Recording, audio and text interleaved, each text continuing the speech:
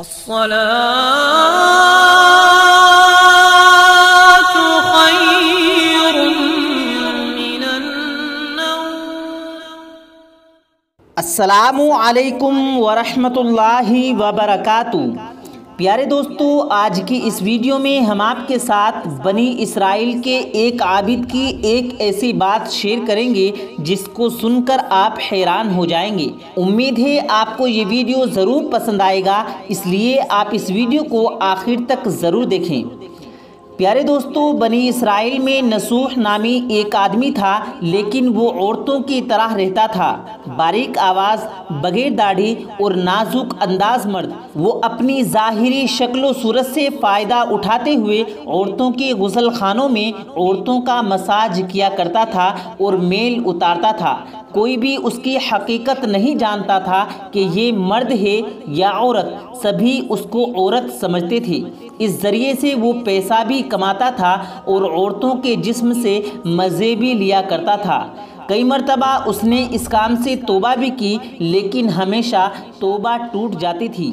एक दिन बादशाह की बेटी नहाने के लिए गुसल खाने में गई। नहाने और मसाज करने के बाद पता चला कि उसका हीरा गुम हो गया है। बादशाह की बेटी ने हुक्म दिया कि सबकी तलाशी ली जाए। सबकी तलाशी ली गई, पर हीरा नहीं मिला।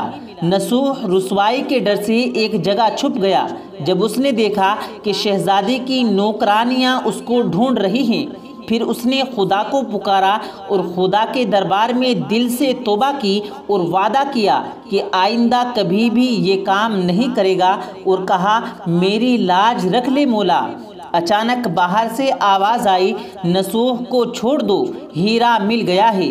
उसने आँसू भरी आँखों से शहजादी से रुखसत ली और अपने घर चला गया। उसने कुदरत का ये करिश्मा देख लिया था और हमेशा हमेशा के लिए इस काम से तोबा कर ली थी। कई दिन महल न जाने पर एक दिन शहजादी ने एक गुलाम को भेजा कि नसूह से कहो कि आकर मेरा मसाज करे।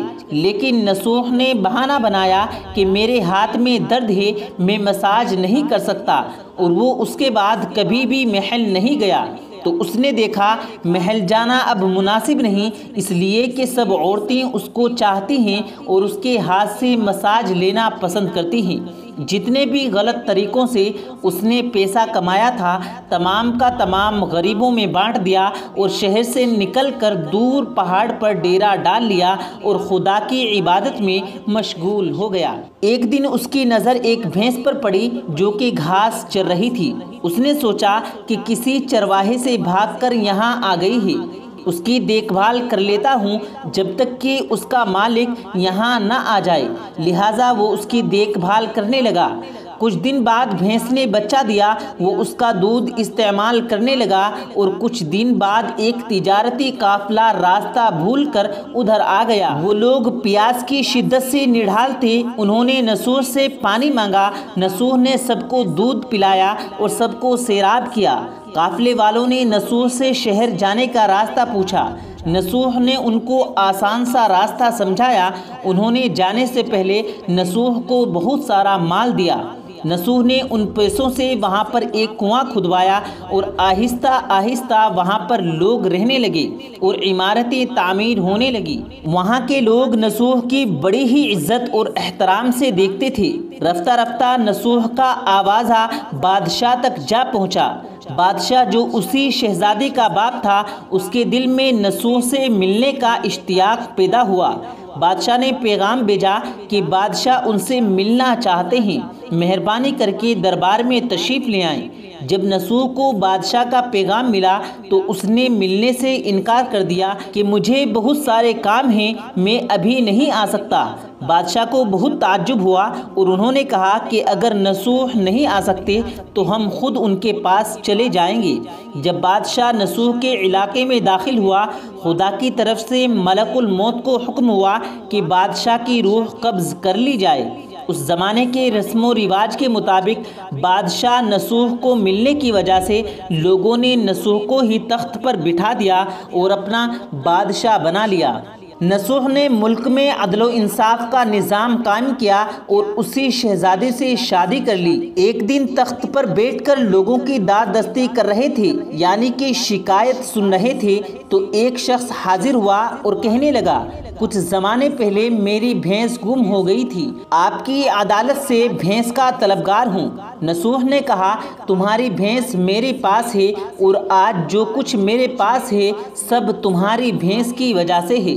नसूह ने हुक्म दिया कि मेरे माल का आधा हिस्सा इस भैंस के मालिक को दे दिया जाए। वो शख्स खुदा के हुक्म से कहने लगा, ए नसूह, जान लो, ना मैं इसका मालिक हूँ और ना वो भैंस जानवर है। हम दोनों फरिश्ते हैं और हम तुम्हारा इम्तिहान लेने आए थे। ये सब माल दौलत तुम्हारा ही है। ये सब तुम्हारी सच्ची तोबा करने का नतीजा है। ये सब कुछ तुम्हें मुबारक हो। और ये कहकर वो दोनों फरिश्ते नज़रों से गायब हो गए। इसलिए सच्ची तोबा करने को तोबतुन नसूह कहा जाता है कि जिसके बाद कोई गुनाह ना हो। आखिर में अल्लाह रब्बुल इज़्ज़त से दुआ है कि अल्लाह हमें भी ऐसी तोबा नसीब फरमाए। आमीन सुम आमीन। प्यारे दोस्तों, उम्मीद करते हैं आपको आज का हमारा ये वीडियो पसंद आया होगा। वीडियो पसंद आया हो तो वीडियो को दिल से लाइक करें और ज़्यादा से ज़्यादा लोगों तक इस वीडियो को शेयर करें। और अगर आपने हमारे चैनल को अभी तक सब्सक्राइब नहीं किया तो हमारे चैनल को ज़रूर सब्सक्राइब कर लें। मिलते हैं फिर एक नई वीडियो के साथ। तब तक के लिए अल्लाह हाफिज़।